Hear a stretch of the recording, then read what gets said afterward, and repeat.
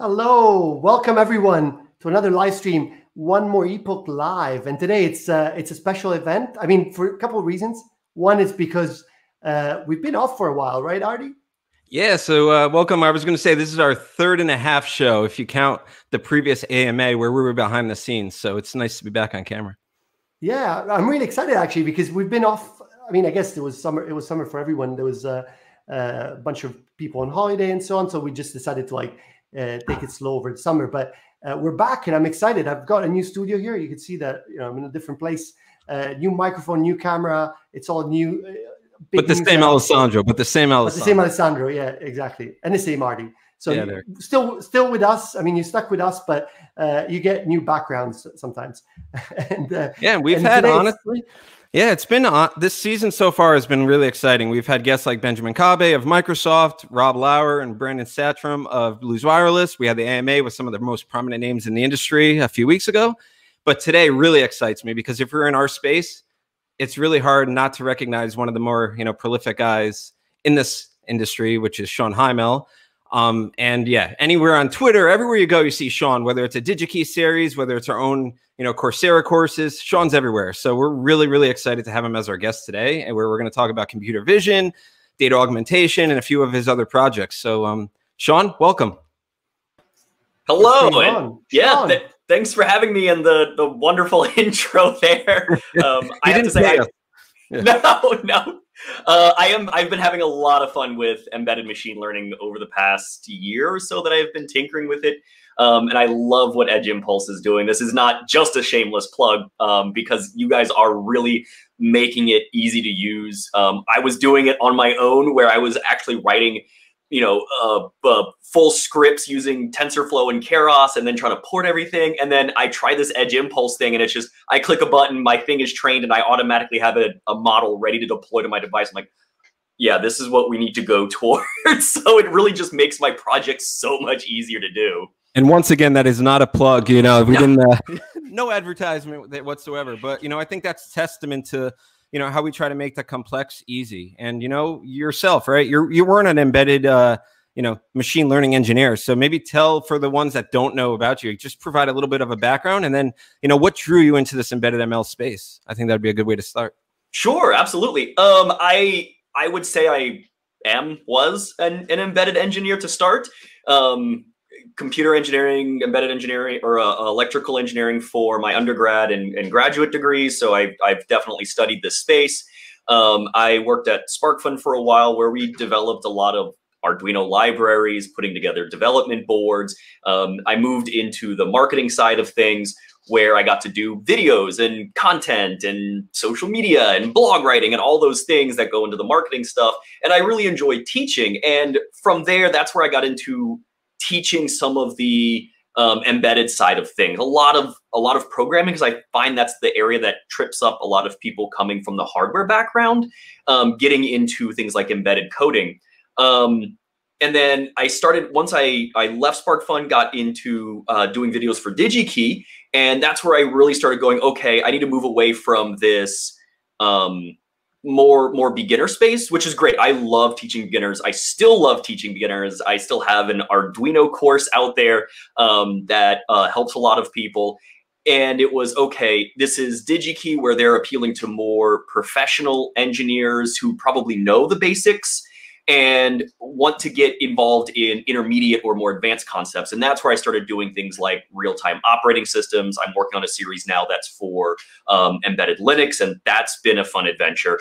And so in this space, I go back to what I previously studied but never got to use, and that was digital signal processing. I actually specialized in DSP in my master's degree, and it was it was looking at different signal patterns and trying to classify signal patterns using hidden Markov models. Like that was actually my thesis. The funny thing about that is what I didn't know at the time is that was machine learning. That was like I just never used that term in my paper because I think at the time around 2010, machine learning was something the like theoretical computer scientists did in in you know uh, in Google and, and classifying images of cats because that's what was being worked on at the time. I just didn't know what I was doing was machine learning.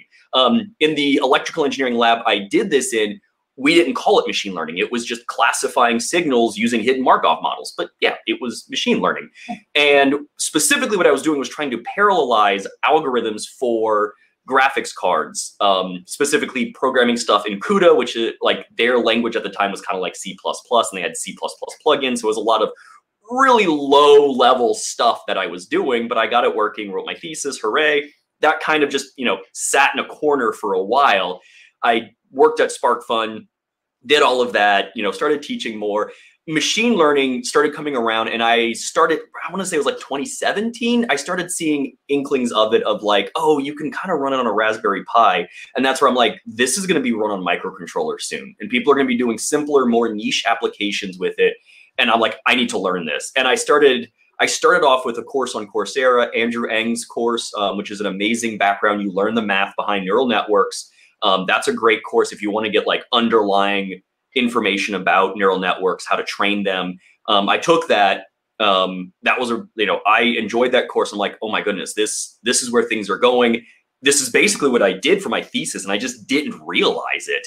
And that's where I started Shawn, going me, into learning. Yeah, I wanted to jump in. I wanted to jump in a second because I, I completely understand where, you, are coming from because I did a thesis on on actually uh, digital signal processing, right? And what's what's really interesting is is how far we've gone in just a few years, right? Like, I mean, okay, it's, it's a bit more than a few years, but it's not that long actually, right? It's uh, it's we've gone from writing a. I mean, my thesis was on a DSP, and I wrote assembler uh, to actually generate the code that was actually running on the DSP to do the digital signal processing, right? So, uh, and I had to like I had to write the maths myself. I had to figure out like you know in MATLAB what the calculations were, the right calculations, uh, how to like put it on the on the DSP itself and it was it was complicated, right? Like I mean, I remember like going through all the the, the different um, memory uh, of the you know I'm actually looking at the bits changing in the in the DSP memory so that I could check that actually the algorithms were working, right?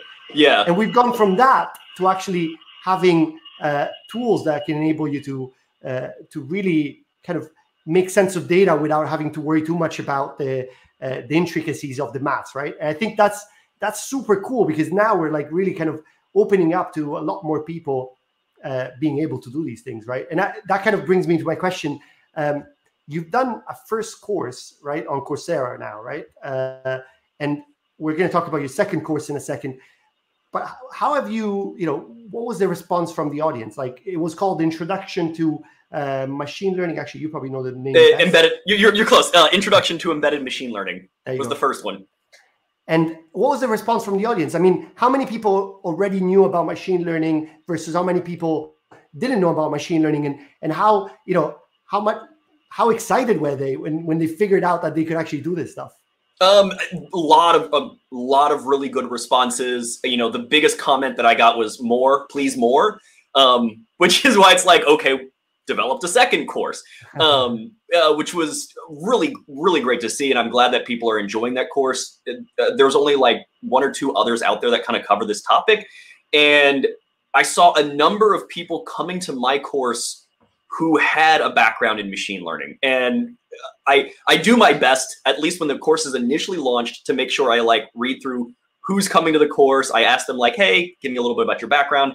Um, I try to engage with them a little bit when they're first coming in. As I'm working on another course, that dies down, and I'm there mostly to answer questions um, and help people troubleshoot problems.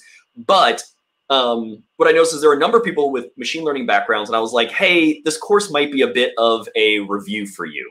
Because what I determined is that I mostly aimed the course at people with embedded background or interest in embedded stuff so likely they've seen Arduino, they've tinkered with an Arduino, and they're coming to this course. And what that means is I need to teach them yeah more. I'm getting another comment. Yes, please more. So um, they've had some of that embedded background, and what what's the confusing part is that machine learning, right? That's still a black box mystery to a lot of people. So what I have to do is find a way to go, okay, here's what you need to know about machine learning to become a practitioner of it you don't need to understand uh, gradient descent down to you know solving for particular gradients in TensorFlow or even by hand.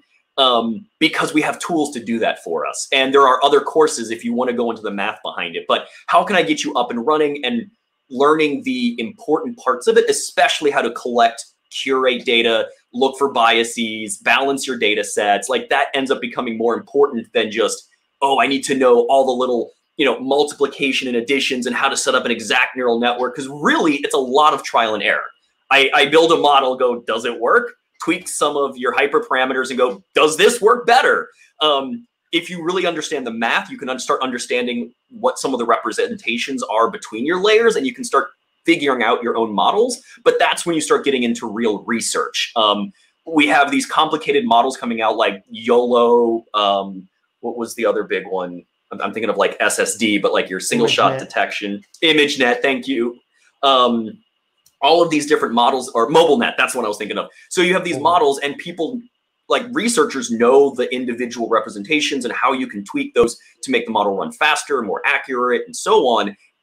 But this is like people's PhD research where they get published in in periodicals or or conferences for this kind of stuff. Um, so in reality, what you're probably doing is starting with a model that somebody else has created and tweaking it to your purposes. And it's a lot of trial and error to figure out does it work? And then deploying that. So really the hard part is understanding how to use the model, how to collect your data, and how to deploy it. And that's where I focused on, that's what I focused most on in that first course and getting people just familiar with that process. And there's not even a lot of coding in that course. It's really like you're running these demos and you're kind of going, okay, does this data set work or not? And I challenge people to tweak the code that comes from Edge Impulse because Edge Impulse provides a number of demos, especially for Arduino. And it goes, okay, hey, make a make a light blink if you captured this keyword, and that's a good first start for people, um, just to see, oh, here's how I can start training my own models using a tool set without having to know really what's going on with something like gradient descent in your in your training.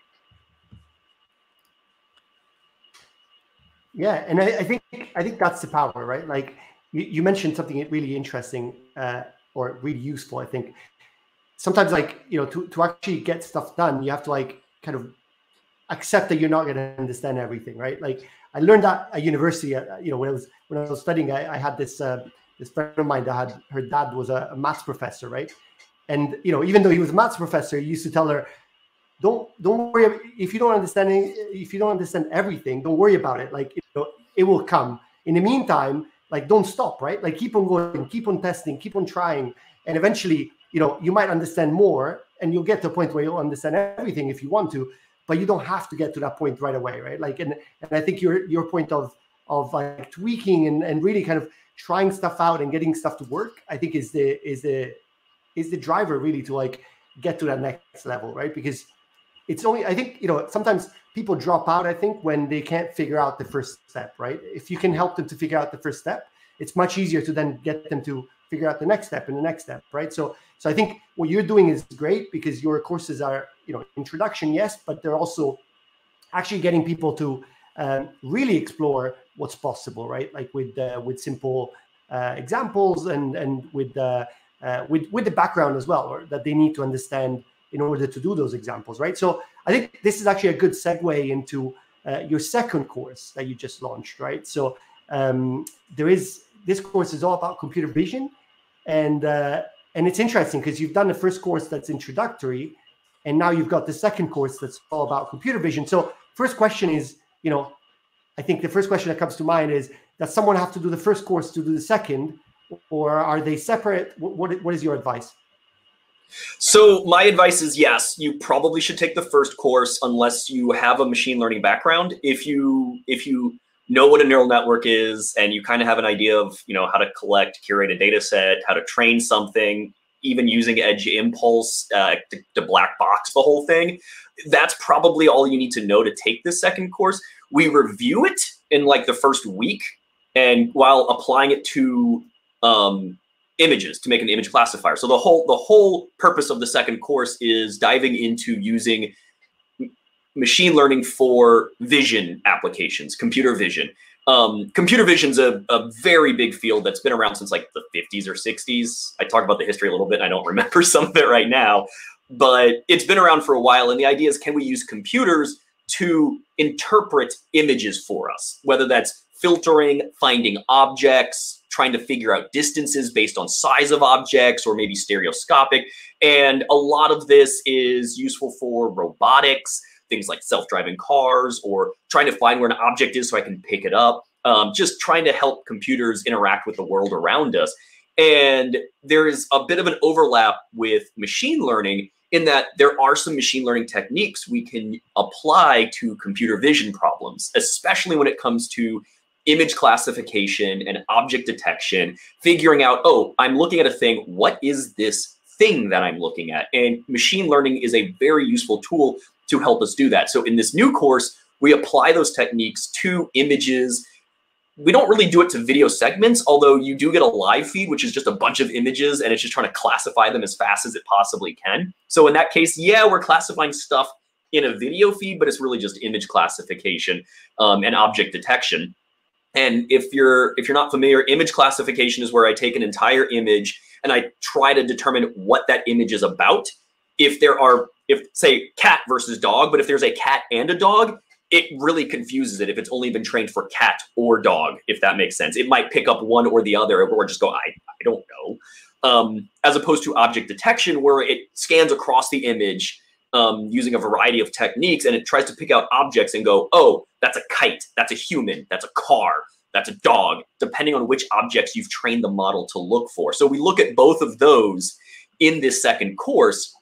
And to go into that, yeah, you should probably know a little bit about machine learning. And everything I cover in the first course should be good enough to take this second course. So if you don't know machine learning, take the first one. If you do have some background in it and you kind of know how to work with Edge Impulse or some other tools, yeah, feel free to take the second one.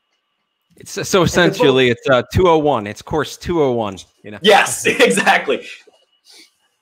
And they're both free, right? Like we should say, sorry, Artie. I was just gonna say that we should say that they're both free courses, right? So you can just attend them for free on Coursera. How does it work with the? I've seen that you know some people are displaying, showcasing their um, their certificate. How does that work? Sure. So it's a free course. Everything in the course is free. All the projects, all the quizzes, all the videos.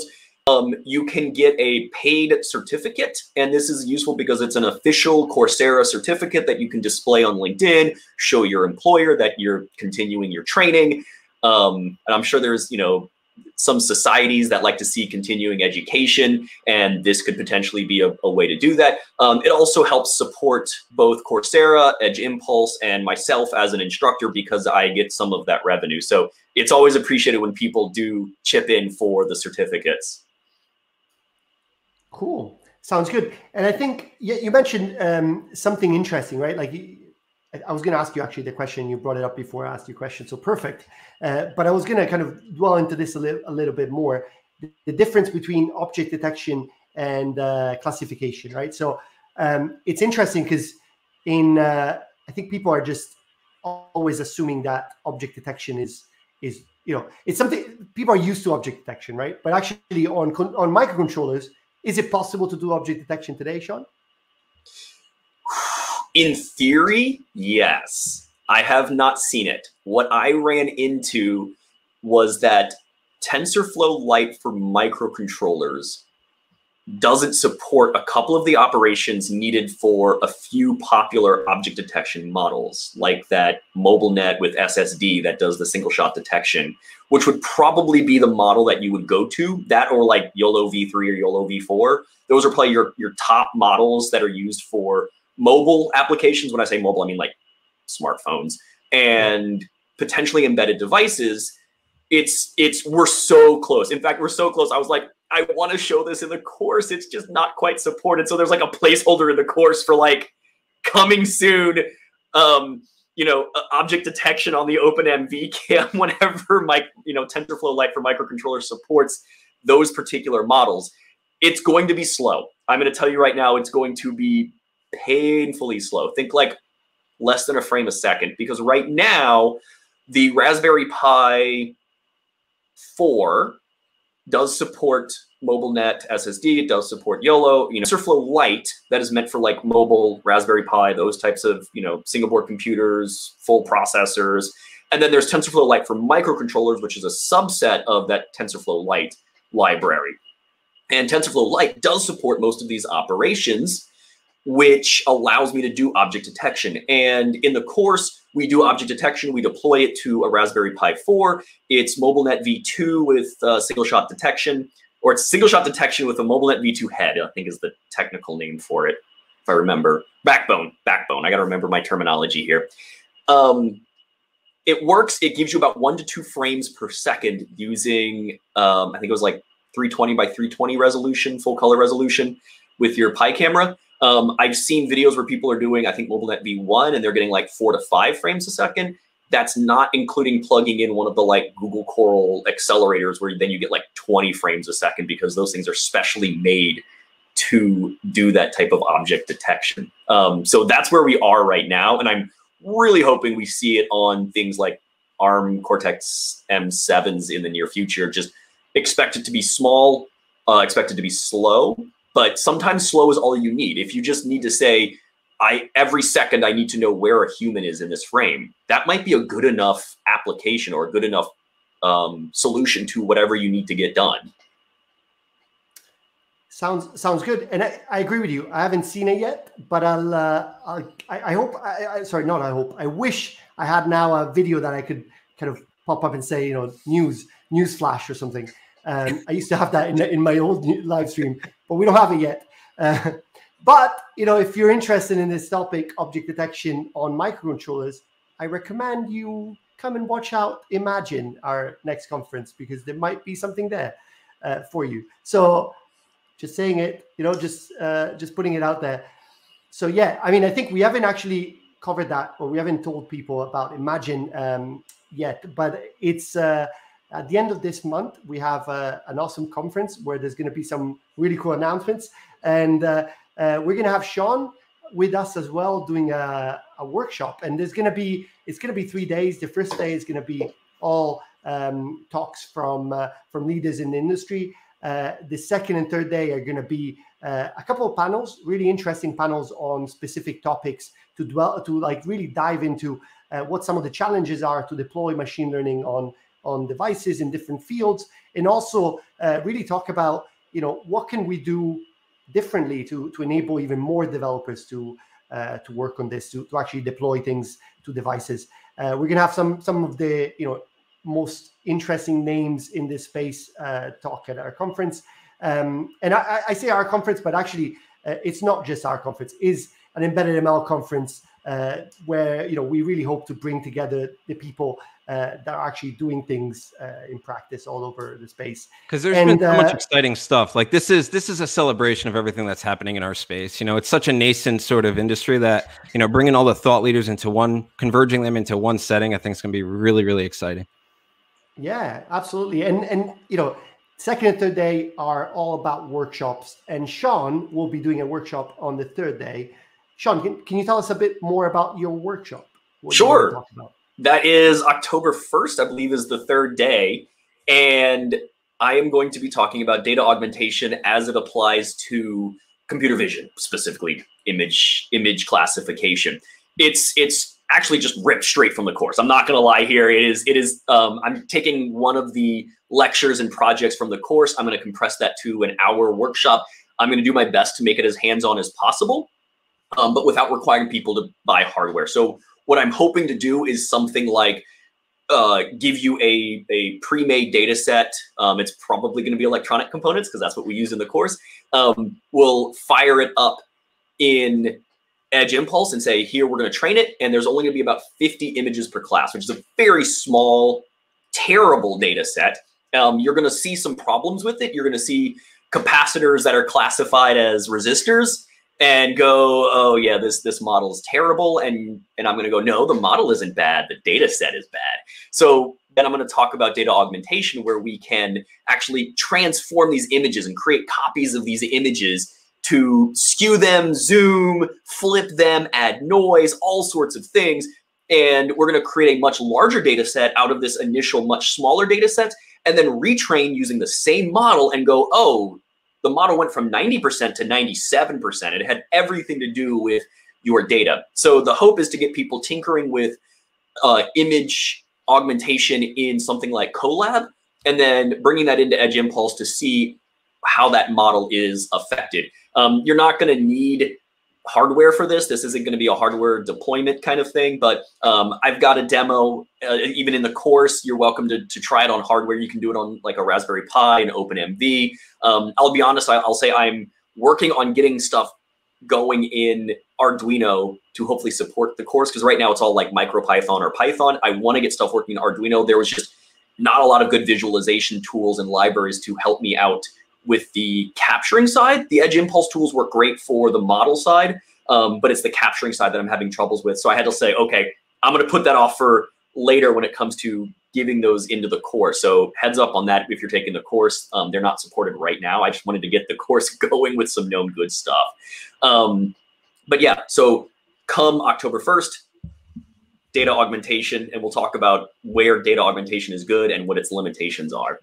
And you had just mentioned the word demo, and I know that off air, you and I, we were kind of just briefly discussing maybe showing off something. So I don't know. Do you have something behind the scenes that you might be able to show us, you know, right now? Sure, absolutely. Yeah. And can I share my screen? Do, do, do, do, do, do. Share screen. I want. Why are you giving me three screens? Oh, one is my laptop. While you do that, Shawn, I, am just going to bring something up that that's super interesting. So um, we are, you know, I think I've been in this space for, for a little bit, and what's really interesting is you know the fact that we're I think we're getting to a point where we're starting to realize that actually, um, you know, engineers, software engineers are not just going to be coding anymore, right? They're also going to be working with data, right? And and I think your workshop um, is going to be really interesting to people that really want to understand how to work with data, right? Because effectively, as you mentioned, sometimes your data sets are small, sometimes your data sets are not, you know, are not exactly what you would like. And there is ways and techniques to like make sure that you know your data um, can perform or you know what you what you have is is enough for your um, for your models. Or in some cases obviously you have to take to gather more data. But i think it, it's interesting to understand how to play with data in order to get better results from uh, from machine learning models. Uh, so you know go at come and attend um, shawn's shawn's workshop because it will be really interesting so Shawn, I see your. Should I bring up your screen? Yeah, absolutely, and uh, agreed. Much much to your point. Um, especially machine learning practitioners, anybody who's going to be doing doing this stuff in this space, uh, you need to understand how to work with manipulate data, probability, statistics, all of that. So I think as we are getting more into where that's more of a normal or machine learning is more of a normal subject taught now, probably in a lot of computer science um, curricula we're going to see that like, oh, you got to understand probability, statistics, data, what that means. So here is my demo, and this is Edge Impulse. If you've played with Edge, Impulse, they should look pretty familiar. I've got some images here. This is a resistor, and if you take my workshop coming in October, these this data set will probably look very familiar. These are, I think they're like 28 by 28, something like that. Um, and we can, I've got background, I've got capacitor, diodes, you know, really basic electronic components. And they're all kind of about the same. They're all kind of, the component body is centered. It's, it's kind of in the same position. You know, the leads are always going out to one side. And it's just, uh, what do I have? About 50 of each. And, you know, there's a few in my test data set over here. Yeah, there's a few in my, like eight items in my test data set. That's a terribly low data set. It's pretty awful. And so I trained this. Let's go to my neural network classifier. And what do I have? What do I have here? Uh, 2D convolution, 2D convolution, a dropout layer. I think this is the the default image classifier for Edge Impulse, if I remember. And I just upped the number of training cycles to 100 because I just like to throw more epochs at things because reasons. Um, and it's a pretty bad accuracy. 90 percent is uh, taking the tiny ml course. Great. Oh, I'm glad you enjoy it. Thank you. And it's it's confusing resistors and diodes here, and resistors and diodes. Yep. Uh, same with capacitors and LEDs, probably because where the leads are coming out to one side, or you've got the two leads going out, and like the, the pictures are all the same. So we can make this work better for us if we do a little bit of image augmentation. And I've got this Colab script where this one's just working with one particular image to give you a demonstration. All you would do is just a giant for loop and go through all of your images to create more of the same. And here's the original image we're looking at. So we import it. It becomes a, I think, a NumPy array, basically. Where, where am I assigning image here? Yeah, it's basically just, it's just a NumPy array. So you've got, it's originally a 96 by 96. There's three color channels. I draw it here for you. Here's my resistor.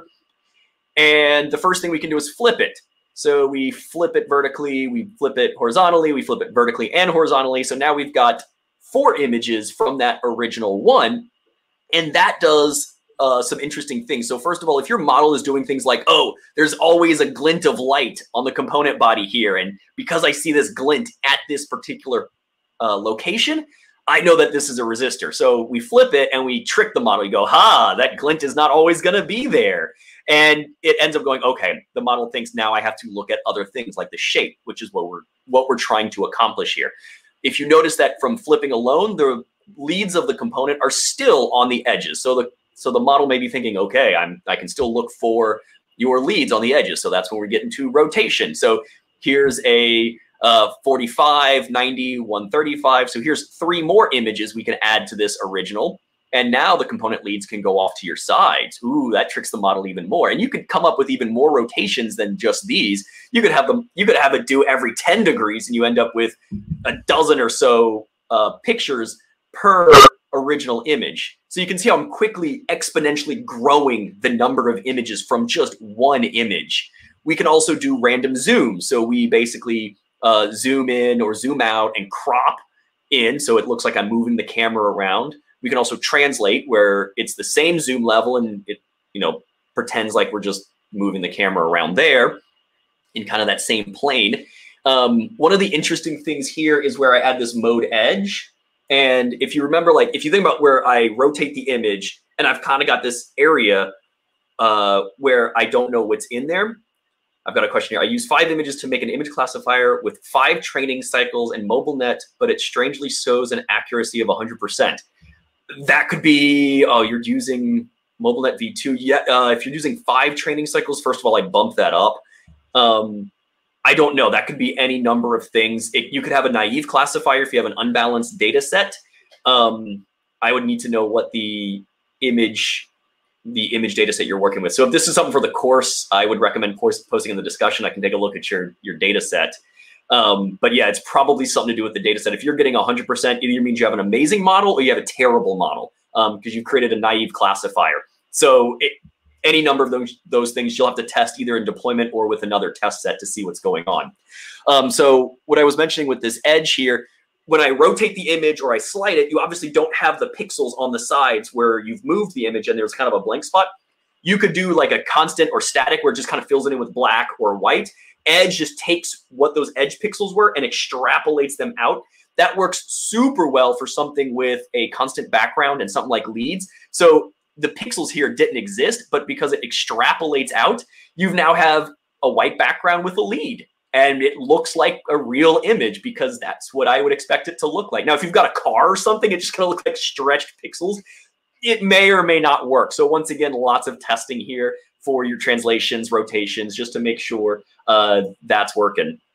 Um, the final thing I show is noise, and we've got Gaussian noise and salt and pepper noise. This comes into play when you increase the gain of your um, like your your your sensor, and it tries to um, pick out low light subjects, and it just also introduces a bunch of noise. Um, this is also useful for training the model not just to look for a particular color or grayscale value at a location, because now it could be slightly different than that. Um, there's all sorts of there's all sorts of things that you can do to augment your data. This is just a few examples. There's also like color shifting, there's stretching, skewing, lots of things I didn't talk about here. And you kind of end up with this idea of I start with one image, the basic augmentation techniques I showed you or transforms I showed you gives me 13 new images. So now my data set of 250 goes to over 3,000 new images based on this. So one image turns into a, uh, a bunch of different images here. And what we've got is, if I can find my mouse pointer, we go back here. I've got these loaded into Edge Impulse. This is a new project. So now I've got 500 images instead of those 48 images in my training set per court or per class. That is, you know, something like 3,000 images total between test and training. I train the exact same classifier. As you can see here, it's the same model. I've already trained it, which is hilarious that it's telling me 93% because this, I swear this was giving me 97 when I looked at this exact project earlier today. The effect of a live demo. I know. It literally said 97 when I looked at it like five minutes before we started. Yes. So I was able to get up to 97% on the training. We've got we've got model testing. Maybe I'm in a different electronic component CNN augmented. No, I don't know. That was that was super with the ghost of demo day haunts me. But we trust you. We trust you. I, swear it was 97. It was higher. I can I can train these and yeah, it's still giving me 90, 93%, but it's it should still show you that it is I saw an increase in accuracy over 90%. So any few percent increases is always helpful using the same model. And to finish out this demo, I've got it deployed on my OpenMV. And so this is just a script that I wrote that captures raw data from my OpenMV, scales it as necessary, and sends it off to the Edge Impulse trained tiny or TensorFlow Lite model file, which is actually like a, a collection of operations. And I'm gonna make sure my OpenMV is connected. I'm gonna run this. Um, so be looking up here. This is where it's going to be classifying. If you can read down here, these are my raw classification outputs, but this is really what you want to look at in this upper right. Let me turn on my lamp, and I've got you know my little OpenMV camera here.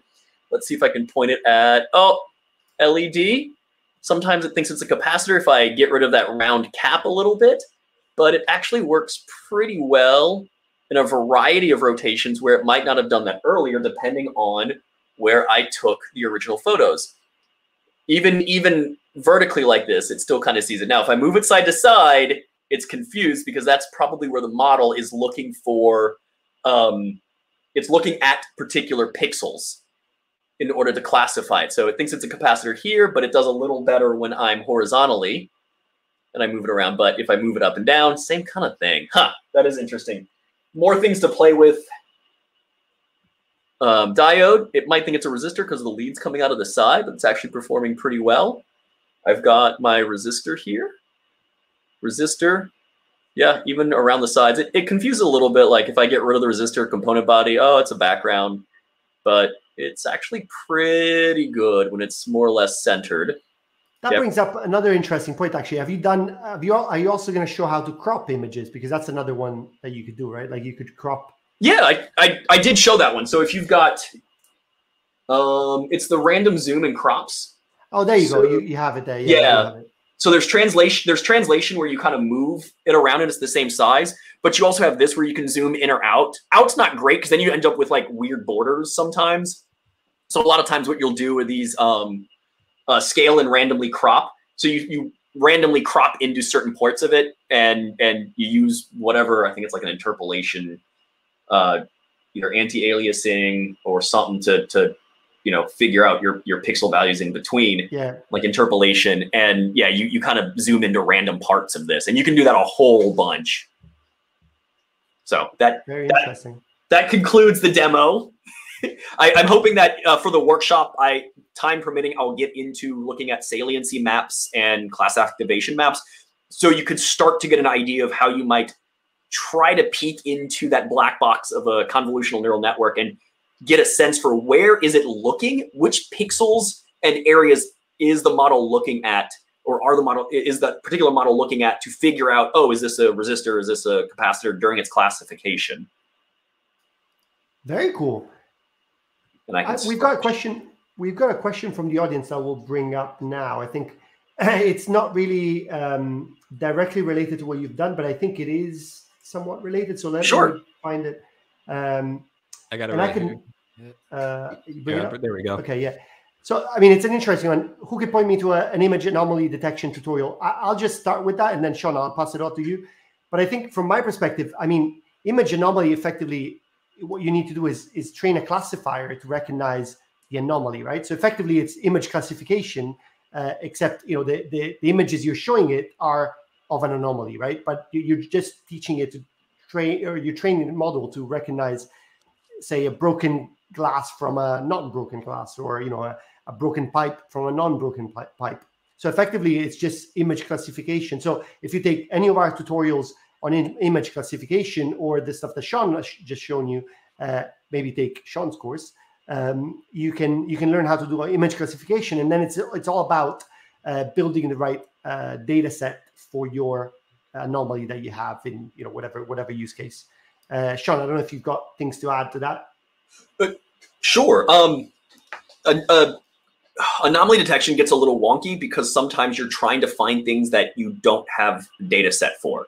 So you get into you start getting into unsupervised learning where you go, I know I know what I have, but I don't know what I don't have. And I want that to become an anomaly, if that makes sense. So if you can get data for what your anomalies are, you can train that classifier, which is that's usually the best way to go about it.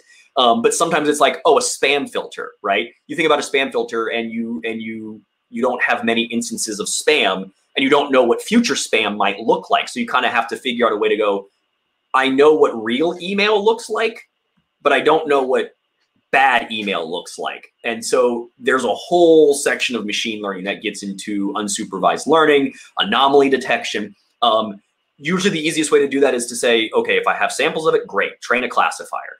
If I don't have samples, there's a bunch of stuff out there you can do um, to help with that. And it should just apply to images. It's not, I don't take my word on this because I haven't really dove into this and it's a very good question. And now I really want to go tinker with some of these techniques. So one option might be something like um, nearest neighbors, where you're looking at pixel values and you go, okay, am I like, can I group stuff together or is my sample on X number of dimensions, which is like your height by width number of dimensions, where does that appear next to images that I are, are known good? Right? So I've got my image that I just captured. I've got my training set and I go, hey, how far away, how close is my new image to this training set? And I go, if it's outside, I can create some type of distance measure with that based on how far, whether that's like Mahalanobis distance, mean squared error. There's a number of ways to measure that distance and go, if my image is really different from what I expect, then I'm just going to say that's a classifier, or excuse me, that's an anomaly that's one way to do it. That's a common way to do it. Um, it's very computationally expensive to do inference with. That's the downside of doing something like um, I think that's nearest neighbors. Somebody's going to correct me on that one. Um, right? I like I did study this, and like it's like you study for the test or you make the course, and then like the knowledge is just gone. I mean, we, we have there's you know as you said there's multiple techniques, right? We have for example k-means clustering on on a clustering. Yeah, try and use.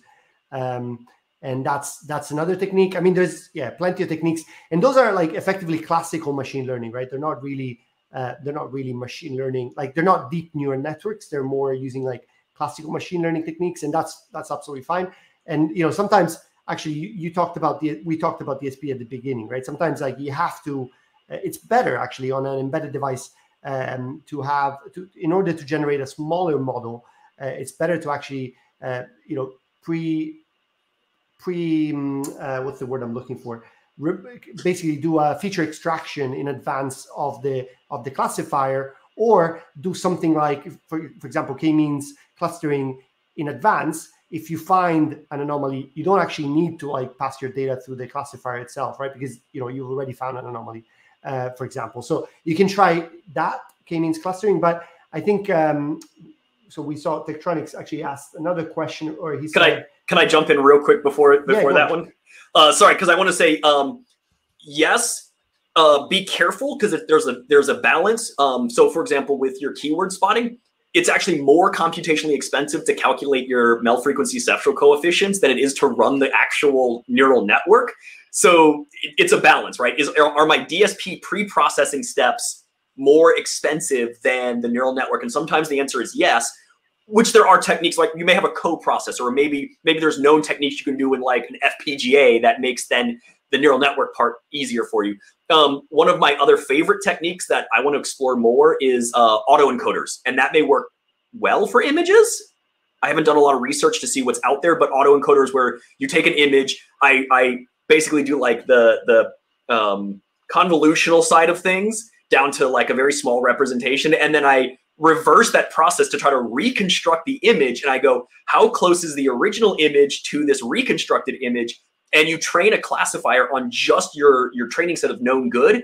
And if it's actually a large error between the input and the output, then you say, oh, my model couldn't reconstruct it. It's probably outside of this training data, therefore an anomaly. So autoencoders are super cool and potentially another good way to do anomaly detection. So sorry, let's get back to the next question because that was another technique that actually does use neural networks. Yeah, I think, well, it wasn't really a question. He was saying that, um, so Tektronix was saying that um, he had effectively samples that were very similar to each other. So uh, it was hard, but sometimes, you know, I guess, uh, I mean, uh, two things come to mind here. Like one is, uh, you know, get more data potentially, but the other thing is maybe, maybe actually um, vision is not the right approach here, right? Like maybe there's other ways to, I, I, you know, I think we, we would have to see what the samples are, like what, what is the use case, but in some cases, you know, you're trying to use a sensor that doesn't really, if you if your image doesn't look different, then maybe there's another way to detect that, you know, with infrareds or with whatever, like something else. You know, depending on the on the use case, obviously, it, it might be different.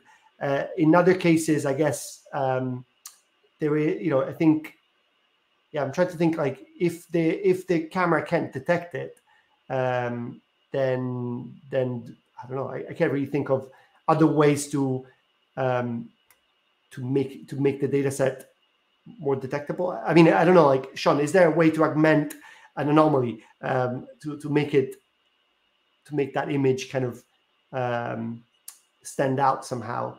Uh, sure. It, it it all comes down to what data you have available. Um, you can you can you know if you only have five anomalies, you can try to do image augmentation and predict what other anomalies, how other anomalies would look similar to that one. So maybe it's like shifted a little, zoomed in a little. If it's like a gray spot on an image, or, or like I've got, say, a resistor that's missing a band and I want to bin them because that resistor is missing a band, then you know may, maybe creating a bunch of anomalies of of that particular instance is a good way to go about it. If you know that it's a particular spot in in the image, you could just zoom in on that spot and just I'm always going to look at these four pixels and that's going to be my classifier. That'll save you a whole lot of computation. Um, you have to think about it in terms of maybe not just images or visual images. Maybe it's something that's hotter. So let's go to infrared. Um, right? Is are there other ways you can get other sensors like Alessandro was talking about on it? Maybe it's not vision. Maybe it's you know think about how how is your anomaly different than your known good data set. So you have to think about all the different possibilities and approach it from multiple angles because pure vision may not give you what you're looking for. Like that's part of the fun fun of machine learning is is trying to think about not just how to solve it, but the different ways. And especially when you get into embedded machine learning, what's the most efficient way to solve it? Because now you're talking about limited resources. Yeah, so true. And I, I think uh, someone once said uh, we were having a chat, and they they said think think like a machine thinks, don't think like a human thinks, right? So in some cases, uh, you should kind of put your, your, yourself in the in the shoes of the machine and think about you know if there are other sensors that a machine could could use to detect whatever you're trying to detect, right? So that's that's interesting. One more thing I'll say before we address there's another question from the audience, but I also wanted to say, Shawn, you brought up a good point about like sometimes like DSP feature extraction is costly versus you know like having machine learning uh, models that are more costly. Um, I think you know I think it's a really challenging thing to like figure out yourself, and in some cases, you know, it takes a lot of trial and error, like a lot of different things. You know, in in, in engineering, uh, you have to like put the work. Uh, we have released something really interesting that I think is super useful because uh, you know I've, I've I've done this for a while, and sometimes like I did I struggled to like find that DSP uh, feature extraction balance with the ML model balance. And um, we've, we've released EON Tuner. So go check it out on Edge Impulse. What it does is, uh, I mean, I'll just, I'll just actually just bring up my screen for a second here. Um, I'll just show you guys like one of the views of, let's see if uh, it comes up. There we go. Uh, I just wanted to show you like effectively uh, this is this is a model that I've got here. It's doing um, it's it's sound. This is recognizing a faucet from uh, from uh, noise, right? Uh, faucet with water from noise. Um, and what's interesting here is that you can see in uh, in the tuner that uh, it's it's basically going through different um, combinations of DSP and ML models, and you can see the results, and you can see that effectively um, each one has a different DSP and an N split, effectively, right? So in some there is more classification, in some there is more DSP feature extraction, um, and you can see the difference. So for example, this has almost like half and half, and then you've got some where you know there's almost like no neural network, no no deep learning uh, happening, and, and, so on. Like there's a lot of different cases. Uh, so I'd I'd invite you, like if you're having that problem, to check out uh, the Tuner because it can give you, um, it can kind of do the work for you and like look at different hyperparameters uh, of the neural network versus uh, parameters of the DSP and really give you uh, the combination that works best for your use case. Um, so with that, I'll, I'll stop talking about this. But it was I, I, something something interesting that I think you know was really useful to me, um, and uh, yeah, and I hope it could be interesting to others as well. So I'll bring this down. And Artie, do you want to bring up the question on Coursera? You're mute.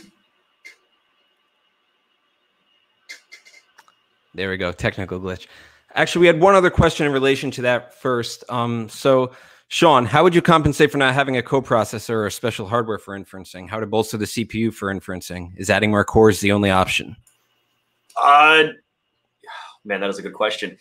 There is. How do you compensate? I mean, that's that's like, how do you get something to run faster, right? Like, so it's it's it probably comes down to you know you can pick choosing your your processor appropriately. So like sometimes a Cortex M4 is fine um, but you know, for vision applications, it may not be. Um, and so you have to go to like a Cortex M7 just because you're gonna run faster. Um, you can throw more cores at it, um, I, uh, and then or you can spend some time trying to make your feature extraction and neural networks more efficient. Right? It's it's it's trying to attack every angle that you can um, so if you've worked in embedded for a while, you're probably familiar with, you know, I've got, I can do stuff on hardware or I can do stuff in software or I can try to do both and try to make something as efficient and fast as possible. Um, I mean, the ultimate solution or the, the, the sledgehammer approach is usually throw like a, a Raspberry Pi at it because you know that's going to run at like what a gigahertz these days. Um, but you're talking it's a power hog, right? So it's like okay, if I want to run with less power, now I'm going to have to spend some time choosing my hardware appropriately to make sure it's going to meet my uh, timing requirements. Like if I only need an image, if I only need to look at an image and classify it once every second or every minute, I could use something super low power. But if I need like, you know, 20, 30, 40 frames per second, okay, that's now you're talking like, do I need multiple cores? Do I need special hardware? It, it's, it's just, it's every embedded problem ever. It's, it's how do I balance this um, how do I get things to be more efficient and while you know saving on power like that's that's the best I can I can hope is yeah more cores is one way is one option. Well, thank you. And then uh, we had a few questions throughout about um, is hardware required for the Coursera course? So I understand that you know you could probably still participate without the hardware in hand, but to get the full full experience, we'd recommend probably getting like a Nano 33 BLE Sense or something like that for the first course. And for the second one, you know, what are your recommendations? Um, probably the OpenMV H7, H7 Plus is probably your best bet. Um, yeah, the hardware for the second course is a little pricier just because we need that processing power. Um, so it's either that or the Raspberry Pi. Um, if you want to play with if you want to play with microcontrollers, the open or yeah, the OpenMV is a really good thing. But like I mentioned, the um, object detection stuff is not working on that one yet. So right now, a Raspberry Pi 4 is kind of the only way to get through the whole course and get your hands on actual hardware. Um, you can definitely take take you know do do use the pre-made data sets that I I made, do the Colab exercises, do stuff in Edge Impulse, and kind of go, oh, this is a model, this is how it works you could do all of that and probably get through all of the quizzes without a problem without needing to buy hardware. I do recommend getting hardware because you get to, there's nothing like holding up an OpenMV and going, oh my goodness, it's classifying my dog in real time. And that's super freaking cool. Um, but yeah, for the intro course, the I think the only board that I support is the um, Arduino Nano 33BLE Sense, like already mentioned. And then the second course you want, like the OpenMV, um, doesn't quite work with object detection right now. I hope it does soon in the future. Um, or the Raspberry Pi 4. A lot of people I know who like are makers, engineers, they usually have like a Raspberry Pi sitting around anyway. Um, but you will need the PiCam. You could probably get a USB webcam to work with the Raspberry Pi, but that's kind of on you because uh, Linux and USB stuff is always kind of wonky. Um, can't promise any particular webcam will work. So I know that the PiCam works. How's that? You're missing the fun. Yes, it is. It is like if you're doing embedded machine learning, you should probably get your hands on actual hardware because that is where the fun. I mean, you you get into embedded stuff because you enjoy the hardware side of things anyway, right? Well, that was perfect. So, Shawn, I know being mindful of the time. Thank you so much for joining us today. And um, you know, as we look ahead, Alessandro, um, maybe one more plug for Imagine. Yeah, I mean, I think um, if you liked all the stuff that we talked about today, so if you are interested in uh, uh, computer vision, in embedded ML in general, uh, you definitely have to watch out uh, for Imagine and, and, check it out. Um, so you can register at this uh, down here. There is uh, the link that Artie just posted. And uh, overall, I think what you'll find is that uh, we'll make it very easy for everyone to attend. So uh, all the stuff is free. Uh, you can attend online. It will all be uh, streamed to you, um, streamed online, you know, on the day. And um, you can see a lot of really interesting talks on day one, as we talked about before. And then day two and day three are going to be all about workshops. so make sure to check out the schedule because there's some uh, partners that are giving out some hardware for the workshops. So if you don't have your embedded uh, kit yet, you might want to subscribe to one of those uh, um, workshops because you there is a chance to get uh, your hands on some hardware. Um, so other than that, I think just check out the schedule and add uh, the session that you're interested in to your calendar because we'll be sending links to attending to, to attend the actual session through the calendar link.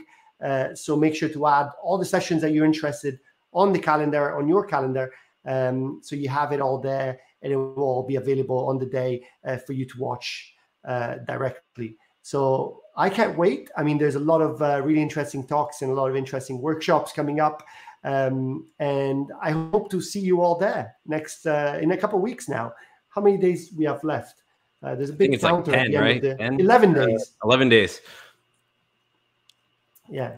I was just looking. And Shawn, the, you're such a pro. So kudos to you, Shawn. Like honestly, I just sat back today. I learned so much just from you, just listening. So thank you for joining us. This this was awesome. Yeah, I really appreciate you guys having me on here, and I I love geeking out about tiny ML embedded machine learning stuff. This is a lot of fun, and I I, I think I mentioned um oh, I mentioned I mentioned where was that? Yeah, I was talking to somebody, and I mentioned like I I get the feeling that this embedded machine learning, machine learning in general, but especially embedded machine learning, is turning into what I would think was DSP in the 80s, where that kind of changed some of the industry in as far as DSP became this new thing you could do with microcontrollers, FPGAs, um, and how the embedded world worked. And I'm really excited to see where embedded machine learning takes us into the future. So thank you guys for having me on here and letting me geek out about this stuff.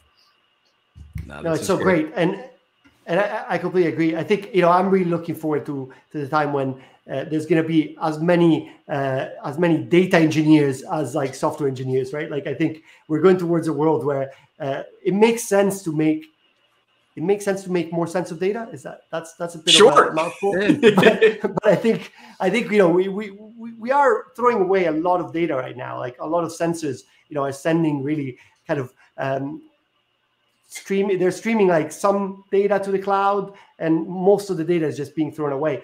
You know wouldn't it be much cooler if we could make sense of all that data and not waste all that power on like useless uh, data collection right? So i think uh, yeah i'm really looking forward to uh, what we can do in the next couple of years together. Yeah. Uh, and Ooh. and i to that real quick like I, I track my sleep with like the apple sleep tracking auto sleep or whatever and it, it gives me a bunch of data but I think where machine learning is going to really help us, whether that's you know big cloud server stuff or or embedded stuff, is helping me make sense of that. Going, what are the patterns? Tell me, you know, use principal component analysis to tell me what things factor into my sleep here because I don't know. I, that's where I'm hoping some of this goes as well. There we go. I think we can end on this. I love it. Cooler. Embedded ML is cooler. thank you all for watching. RG, thank you so much for all your, your comments in there. Um, and uh, yeah, thank you everyone. Thank you, Shawn and Artie. I'll give it to you. Close it. Yeah, thank you everybody, and uh, hopefully we'll see you sooner than uh, the gap last time. Maybe in a few weeks. Um, definitely look out for another episode early October. This was thank awesome. You. Thanks, guys. Thank you. Take care, Bye. guys.